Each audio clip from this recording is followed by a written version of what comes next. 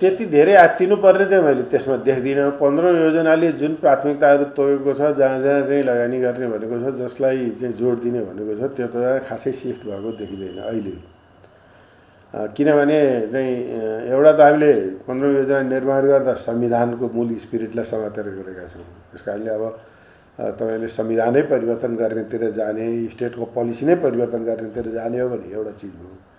स्टेटको पोलिसी त्यही नै हो र राज्यले खेल्नुपर्ने भूमिका निजी क्षेत्रले खेल्नुपर्ने भूमिका र अरू अर्थतन्त्रका क्षेत्रहरूले खेल्नुपर्ने भूमिकामा मोटामोटी खासै परिवर्तन नआएको हुनाले गर्दाखेरि चाहिँ पन्ध्रौँ योजनाको मार्ग निर्देशनमै परिवर्तन गर्नुपर्ने त्यति मैले देख्दिनँ।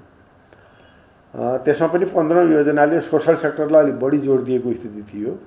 यो कोरोनाले पनि त्यसलाई नै बढी जोड दिनुपर्ने आवश्यकता दियो। शिक्षा र स्वास्थ्यलाई बढी जोड दिनुपर्ने आवश्यकता त्यसले पनि दियो पन्ध्रौँ योजनाले पनि चाहिँ आइटी सेक्टरलाई डिजिटलाइजेसनलाई जोड दिनुपर्छ भनेको थियो। अब यसले पनि त्यही अनुसार चाहिँ चाहिँ बढी जोड दिएको स्थिति छ। सर्भिस सेक्टरलाई पनि अलिकति जोड दिएकै थियो। त्यसलाई पनि चाहिँ दिएकै छ भौतिक पूर्वाधार निर्माणको कुरोलाई पनि जोड दिएकै थियो।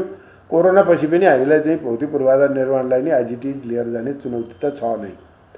त्यसो हुनाले पोलिसीगत रूपमा चाहिँ त्यति धेरै परिवर्तन चाहिँ गर्नु पर्यो मैले देख्दिनँ।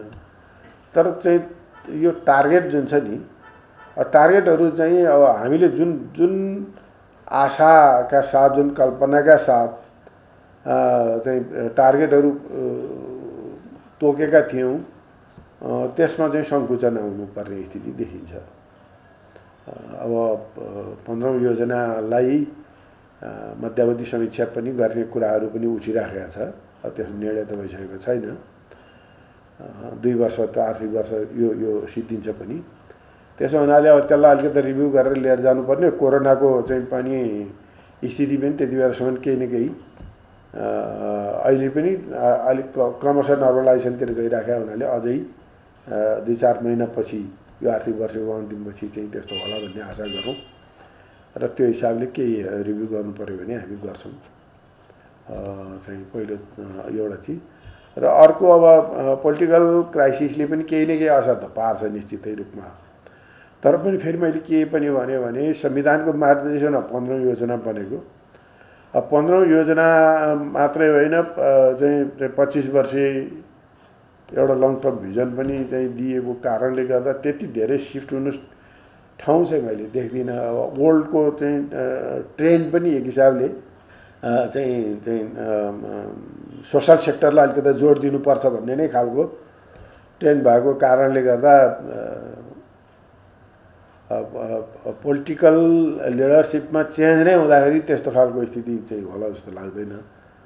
तर अब अहिले तत्कालमा त्यति धेरै असर पर्दैन तर असरै पर्दैन भनेर पनि हुँदैन। त्यो कुरोलाई हामीले ध्यान दिनुपर्ने हुन्छ। अर्को चिज अब निर्वाचनको कुरो जुन छ निर्वाचनले पनि केही न केही त असर पार्छ निश्चितै हो।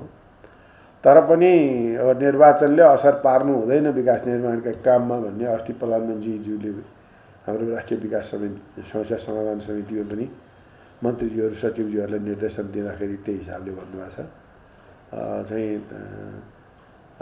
अब म आशा गर्छु यो यो निर्वाचनको कामले हाम्रो नियमित विकास निर्माणको काममा समस्या बनाउँदैन।